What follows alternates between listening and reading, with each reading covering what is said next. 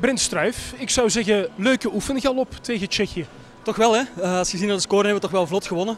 Qua spel kon het nog wel ietsje beter, maar uh, ja, dat zijn ook de zenuwen die erbij komen. Een aantal mensen, die, uh, de wissels komen erin, dat is hun eerste toernooi. Dus dat zijn wat zenuwen, maar uiteindelijk wel blij met de winst. Maar dat is toch ook het mooie, dat iedereen meteen ook speelkansen krijgt? Ja, absoluut. Hè. We zijn één team.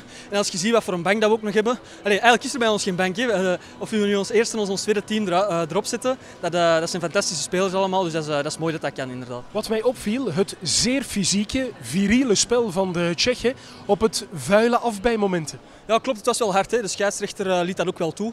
Uh, we weten dat de Tsjechen misschien mindere korfballers zijn, maar die in zit, die is altijd 200 procent, wat dat wel een, een harde en een taaie ploeg maakt. Maar uh, we hebben met ons spel in de even harde fysiek inzet gewoon kunnen wegzetten en prima gewonnen. Dus, is dat typisch voor een tegenstander van de Belgen? Proberen dat tempo eruit te halen, want natuurlijk korfballend geraken zij niet aan, aan jullie enkels. Ja, dat zijn dingen die ze inderdaad proberen. Hè. Ze proberen het, het hard te maken. Wij zijn het gewend van het korfballend op te lossen en zij proberen het zo te doen. Maar als wij evenveel inzet zoals vandaag tonen, of nog iets meer, dan komen er korfballen gewoon bovenuit. En dat hebben we vandaag laten zien, dus dat is, dat is goed. Krijgen we dan soortgelijke wedstrijden tegen Duitsland en Catalonië morgen en overmorgen? Uh, ik schat Duitsland toch nog korfballen sterker in als, uh, als Tsjechië, dus we gaan die goed moeten analyseren. Catalonië is een team ja, met die furie die ze altijd brengen, is ook altijd gevaarlijk. Dus blijven analyseren, energie zelf geven en tactisch in korfbal moeten we er dan overgaan.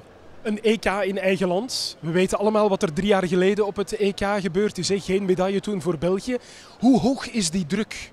Die, uh, die druk die voelen we wel, maar uh, we zijn er allemaal sterk genoeg mentaal voor ermee om te gaan. En dat is eigenlijk voor ons net een extra motivatie om nu te laten zien dat we eigenlijk wel preste uh, kunnen presteren, zeker in, in het eigen land, met dan die supporters erachter. Dus het gaat vuurwerk geven, absoluut. Oké, okay, we kijken er naar uit naar de rest van de week. Dankjewel, ja. Brent Struif.